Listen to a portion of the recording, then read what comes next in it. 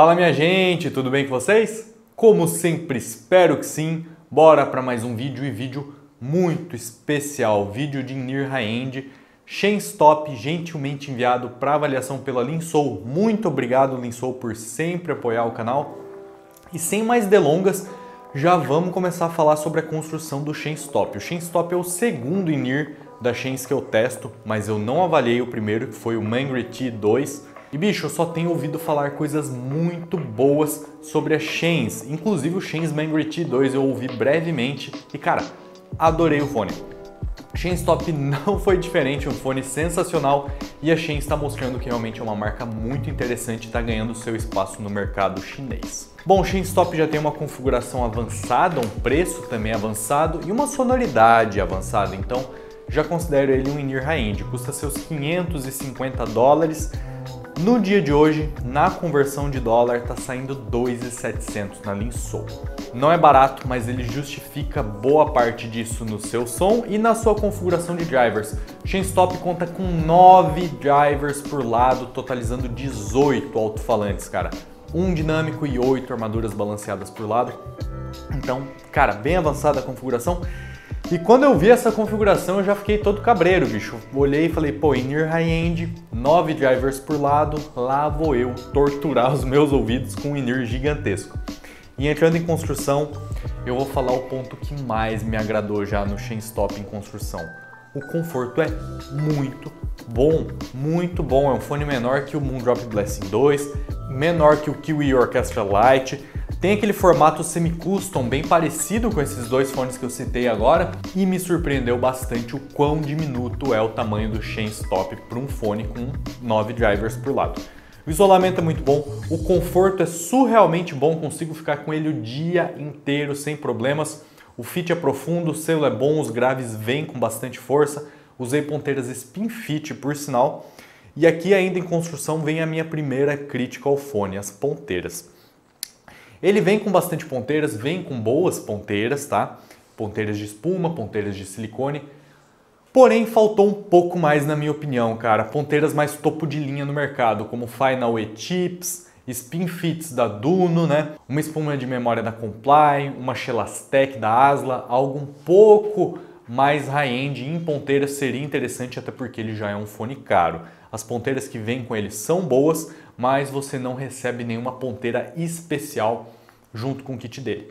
Falando no kit dele, é um kit bem sóbrio, bem completo, a caixa é bem grande, mas você tem tudo que precisa. Tem uma case de couro verde lindíssima, cara, lindíssima case, mas muito grande. Eu muitas vezes reclamo que as cases são grandes, você não consegue levar num bolso, só numa mochila.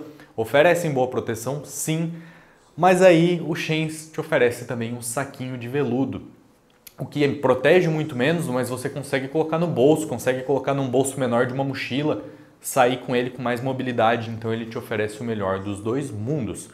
Máxima proteção e luxo com uma case de couro e portabilidade e mobilidade com uma case de veludo, ainda assim protegendo o seu fone.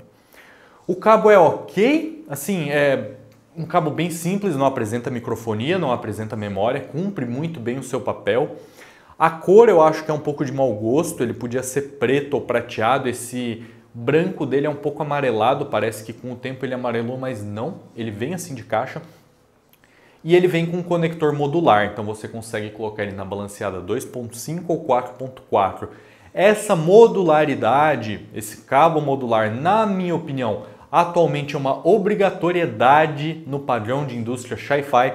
Fones americanos não adotam isso, você vê fones Cara, como os fones da Campfire que custam mais de mil dólares não virem com cabo modular, mas no Sci-Fi já é praticamente uma obrigatoriedade, passando dos 300 dólares você ter um cabo modular, na minha opinião.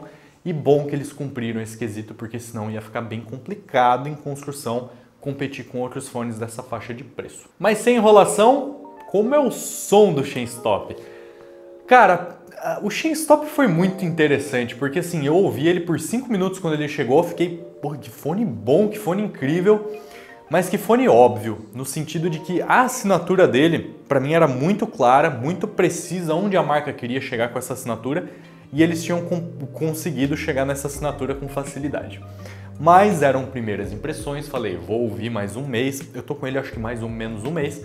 Vou ouvir com mais tempo, com mais calma, com mais gêneros musicais e provavelmente essa opinião vai mudar.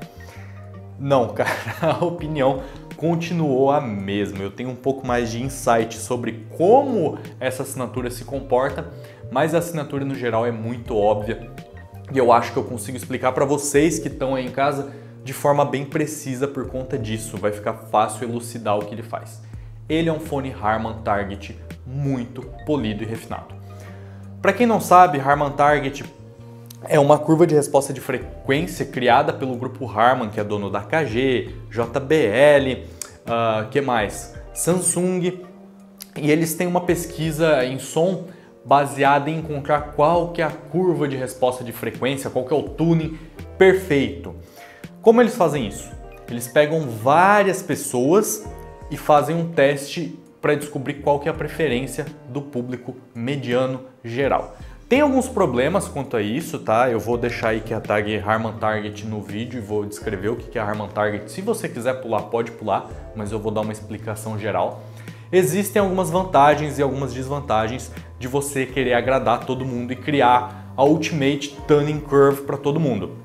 O problema é o seguinte, as pessoas entrevistadas e ouvintes no geral não são audiófilos, não são produtores de som, não, não é querer se gabar ou falar que quem está vendo esse canal, você aí que entende de som, tem ouvido melhor que as pessoas. Não, mas são pessoas mais do público geral. E muitas vezes as nossas preferências de ouvintes um pouco mais aficionados não batem com a preferência geral. O que, que acontece muitas vezes? A gente não gosta de tanto grave quanto o público comum, por exemplo. Esse é o primeiro problema da Harman para mim. Ele, a Harman tenta agradar todo mundo e no fim do dia não consegue cativar o público mais audiófilo. Não tô falando que é ruim, geralmente o público audiófilo gosta sim da Harman, mas dificilmente você vai ver algum audiófilo falar que a Harman é o, o tuning preferido da pessoa, né? Geralmente a gente acaba escolhendo algo um pouco diferente. Outra alusão que eu faço seria com os filmes de super-herói, velho. Cara, os filmes de super-herói fazem o mesmo que a Harman Target. Eles tentam cativar o maior público possível e acaba fazendo tudo muito bem, mas nada excepcionalmente. Ou seja, você vai ver lá o Vingadores Era de Ultron, vai ter uma história interessante, inclusive Vingadores Era de Ultron eu acho que é um dos melhores filmes da Marvel em história. O Ultron é um vilão bem interessante. Vai ter uma história interessante, mas nada muito complexo, porque as pessoas não podem pensar demais. Vai ter um humor, daquele humorzinho bem stand-up comedy para a família inteira que não vai ofender ninguém, todo mundo vai entender a piada, vai achar engraçadinho, né? Vai ter um romancezinho para pra menina, né, para mamãe gostar, para o público feminino no geral, vai ter até um empoderamento. Em seguida vai ter bastante cena de luta, explosão, ação para o público jovem, para o público masculino. Então esses filmes tentam agradar todo mundo. Inclusive, filme dos Vingadores, se já não passa quando começar a passar na sessão da tarde, vai ser muito sucesso. Que quem tiver ali à tarde sem fazer nada, botar no filme, vai ficar interessante. Mas qual que é o problema do filme dos Vingadores e da Harman Target? Tentando agradar todo mundo, você acaba não conseguindo ser o melhor possível para ninguém. Cara, você não vai ver ninguém falando que Os Vingadores é o filme favorito da pessoa. Você até vai, né? Mas, porra, é complicado. Mas você não vai ver ninguém falar, nossa, eu vi Vingadores, Era de Ultron e a minha vida mudou. Eu sou uma nova pessoa, a mensagem do filme tocou em mim, nunca tinha pensado daquela forma antes, agora, né, tudo mudou.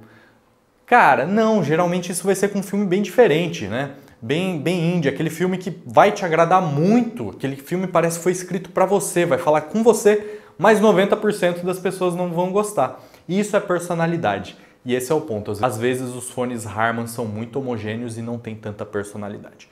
Mas eu falei demais da Harman e o que, que é a Harman? Qual que é a conclusão que a Harman chegou? A Harman chegou na seguinte conclusão: as pessoas gostam de um fone partindo do pressuposto que você está com uma linha reta, neutra, mais subgrave para dar um preenchimento a mais na música no geral.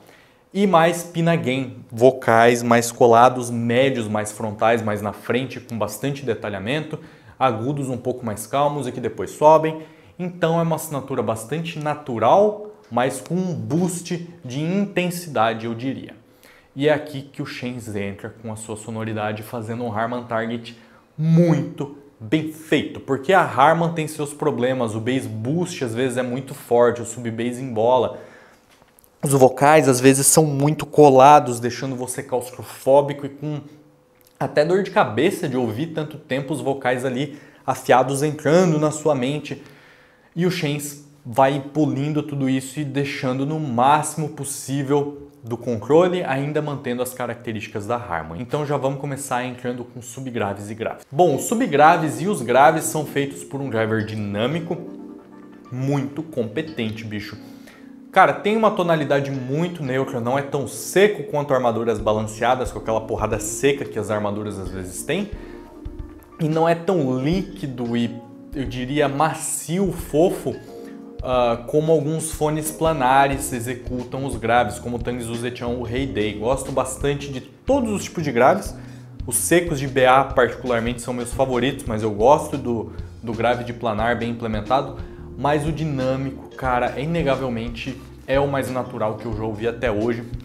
Muito texturizado. Os graves do Shen são muito rápidos e em quantidades ele tem o seguinte: tem um pouquinho a mais de mid bass, mas pouca coisa. Segue numa linha bem neutra e tem um pouco a mais de subgraves. Eu diria que tem subgraves consideráveis a mais. Ainda assim é bem menos que outros fones Harman como o True Zero, muito menos que um True Zero, por gráficos bem menos que o Moondrop Variations, Duno Vulcan, bem menos que o Tai Audio Monarch MK1, que tinha uma Harman Target turbinada. Eu diria que o Shenz é uma Harman Target refinada. Então, quando a música pede, cara, ele vem com subgrave legal, amarra, tem chão, tem impacto, mas ele mantém muito controle, muita textura e muita velocidade. Inclusive, foi um fone que eu gostei muito para ouvir heavy metal e power metal, coisa que geralmente não acontece com fones Harman, tá? Partindo para os médios, cara, presta atenção. Se você está viajando aí e não está prestando atenção, presta atenção agora, porque é o seguinte: os médios do Chainstop são a melhor parte dele e são o ponto culminante para você comprar o Chainstop ou descartar o Chainstop. Cara, são médios surrealmente bons. Eles são Harman, eles vêm para frente, mas não são tão para frente como em outros fones Harman Target. Para mim, estão num ponto muito bem executado de muito bom gosto. Você sente sim que são o foco da apresentação. Os instrumentos ficam nas costas, as vozes vêm para frente e tomam o palco central, mas elas não vêm tão para frente a ponto de te incomodar. E cara, são muito detalhados. Nessa faixa de preço são os médios mais detalhados que eu já ouvi, inclusive mais detalhados em médios que o fio FH9 que custa mais. Em médios apenas, prestem atenção. Tem uma sensação de macro detalhamento muito alto, detalhamento mais evidente, aquele detalhamento mais fácil de captar fica muito evidenciado porque ele joga na sua frente e ele tem muita textura. O micro detalhamento, aquele refinamento, detalhe, detalhezinho que tem nos agudos, um brilhozinho, já não é tão bom, falando agora dos agudos. Ele tem ótimos agudos sim, tá? Estendem bem, não incomodam de forma nenhuma, pratos de bateria são mega naturais porém não tem o mesmo refinamento que outros fones um pouco mais caros, como o Fio FH9, Campfire Audio Andromeda e principalmente o Tai Audio Monarch que usa drivers eletrostáticos para os agudos, cara. Te dá uma sensação de micro, aquele detalhamento que, que aparece do nada que você nem sabia que estava na música. O Chainstop não faz tão bem isso. Agora o macro, que é o detalhamento básico da música, ele joga muito para frente e soa assim muito detalhado. Os médios, inclusive, são os melhores que eu já ouvi nessa faixa de preço. Em tecnicalidades, você tem alguns pontos interessantes. Como eu disse, o detalhamento é um pouco complicado, porque nos graves ele é muito rápido e resoluto, nos médios ele é mega detalhado, joga tudo para frente, mas o detalhamento dos agudos ele deixa a desejar um pouquinho. O próprio Moondrop Blessing 2 eu acho que tem um refinozinho a mais, tá? Então ele tem um detalhamento alto dependendo da região que você olhar. A imagem holográfica que ele cria é muito precisa, você tem um senso de direcionamento muito preciso, porém não é um palco muito alto e não é um palco profundo, é um palco bem achatado e bem diminuto para essa faixa de preço. Isso acontece por quê?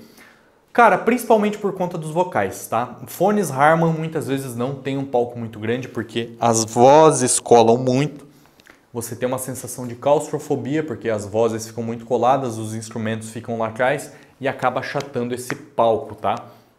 Enquanto fones no oposto, como, como o Campfire Audio Andromeda, que tem as vozes mais recuadas, te dão uma sensação de respiro, espaço muito grande. É uma sensação ilusória? É, mas em NIR são pura ilusão quando o assunto é palco sonoro, entende? Fato é que o palco é pequeno, imagina que é uma kitnet, imagina que é uma maquetezinha, porém é muito detalhado e muito resoluto.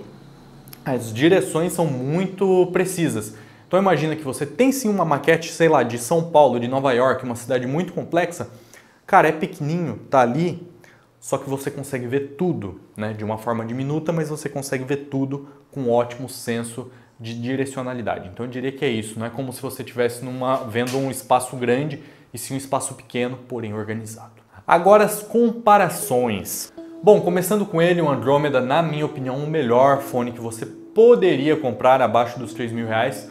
No AliExpress, infelizmente, não vendem mais Andromedas, então vira e mexe aparece um que foi devolvido, sei lá, mas você não acha mais para vender normalmente o Andromeda. Como ele se compara com o Andromeda? Cara, eu diria que eles são antagonistas, tá? O, o Shen's faz exatamente o oposto do Andromeda, são assinaturas quase opostas. O Shen's tem foco em vozes, vozes mais coladas, foco em subgrave, enquanto o Andromeda é o oposto, tem um foco em mid bass, médio grave, vozes bem mais recuadas, mas muito naturais. E o palco é o que mais chama atenção. O palco do Shen's é isso aqui, enquanto o palco do Andromeda é gigantesco. Sensação de detalhamento do Andromeda é maior, imagem do Andromeda é melhor, os graves do Andromeda são mais rápidos, mas os subgraves do Shen são mais texturizados. Vocais do Andromeda são mais calmos e naturais, do Shen são mais focados e detalhados. Então, cara, é assim, não tem como comparar tanto um com o outro, na minha opinião. Os dois são pau a pau. É mais questão de o que você prefere, porque são fones muito antagonistas. Em relação agora ao fio FH9, o fio FH9 eu diria que se enquadra no meio do caminho entre o Andromeda e o Shenstop. Ele é mais Harman que o Andromeda, mas é bem menos que o Shenstop. Tem um foco ainda grande em médio grave, o fio FH9, e os graves do FH9 são melhores, cara. Os graves do fio FH9 são um dos melhores que eu já ouvi no mercado. Mas lembrem que o fio FH9 também custa mais, custa 700 dólares, tá? Os médios do Shens, na minha opinião, são melhores, são um pouco mais detalhados, mais frontais, enquanto do, do, do FH9 são mais calmos e relaxados, o que é uma vantagem também e dão uma sensação de palco maior para o FH9. E os agudos são pau a pau, só que o FH9 é mais refinado, é mais detalhado. O FH9 é um fone melhor, na minha opinião, em construção e em som. Atualmente eu escolheria, se ambos estivessem o mesmo preço, um fio FH9 a não ser que você curta muito vocais ou subgraves, que são duas coisas que o FH9 não faz tão bem quanto o Shen's. Agora é contra o Thai Audio Monarch MK1. Eu acho interessante essa comparação porque é o seguinte, o Monarch MK1 custava 800 dólares, bem mais que o Shenstop, foi descontinuado, né? Eu tenho review do Monarch, mas o Monarch MK1 foi descontinuado. E o Monarch MK1 era um Harman Target turbo, turbo, turbo. Você pega tudo que tem nesse Shens e aumenta, a ponto de ficar agressivo. Ele tem mais subgraves que o Shens, mais médio agudos e agudos que o Shens, então soa muito detalhado, muito expansivo, tem um palco bem maior que o do Shens, soa com bem mais corpo no subgrave, mas ao mesmo tempo mais artificial e mais cansativo, assim. O conforto também não é tão bom. Atualmente eu escolheria um Stop no lugar do, do, do Monarch MK1, principalmente por conta dos médio agudos do Monarch MK1 que ficam bem gritões às vezes, enquanto o Shens mantém o maior controle. E a última comparação que muita gente vai achar que não tem nada a ver, até porque é um fone de 500 reais contra um fone de 500 dólares, que é o Galileu versus Stop. E é uma comparação interessante, cara, porque é o seguinte, o Shenstop lembra bastante o Galileu, surpreendentemente, e arruma quase tudo que o Galileu faz mal. Primeiro que os graves lembram muito em quantidade, o subgrave do Galileu é elevado, os médios são médio graves são ok. Tem muita textura, tem muita informação. Quando a música pede, principalmente no hip hop, K-pop ou afins, o Galileu vem com bastante força e o Shenstop também. Só que o Shenstop é melhor. o Chainstop embola menos, é mais rápido, é mais natural, é mais polido. E aqui a gente já tem a primeira semelhança e upgrade. Nos médios é que o bicho pega, cara, porque o Galileu é o meu fone mais recomendado para vocal, principalmente feminino, na faixa dos 500 reais. E o Chainstop faz isso também muito bem. É o melhor fone para vocais femininos na faixa dos 500 dólares, na minha opinião. Ele pega exatamente o que o Galileu faz e faz melhor, jogando muito mais detalhamento e mantendo ainda mais controle nos vocais. E nos agudos é onde mora a comparação mais interessante, porque o maior calcanhar de Aquiles do Galileu está nos agudos. Os agudos né, vão subindo, tal, mantém um controle e despencam na região do ar, enquanto no Shin Stop não, ele mantém um arejamento maior. Então ele pega o que o Galileu fazia de errado, que é soar um pouco escuro, né, e um pouco desanimado, eu diria, em algumas gravações que exigem agudos mais altos, como música clássica, OSTs, Splash de um prato, prato de bateria às vezes não soava tão bem renderizado e o Stop faz isso melhor. Então, é uma comparação injusta, mas serve para a gente descobrir que se você tem um Galileu e ama o Galileu e quer saber o próximo passo, na minha opinião, o Stop seria uma escolha muito bem-vinda.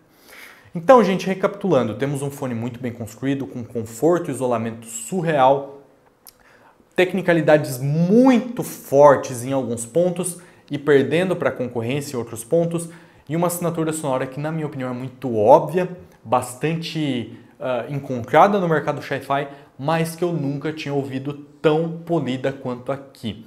Cara, se você é fã de Harman Target, se você é fã de vocal feminino, se você é fã de Galileu, o Stop provavelmente é o melhor fone que você vai poder comprar aí na faixa dos 2.500 que eu testei, tá? Obrigado por assistir até aqui, espero que você tenha gostado do vídeo, cara. Se você gostou, dá uma curtida aí, comenta, compartilha, considere se inscrever se você vê meus vídeos com certa frequência e eu vejo você no próximo vídeo. Fui!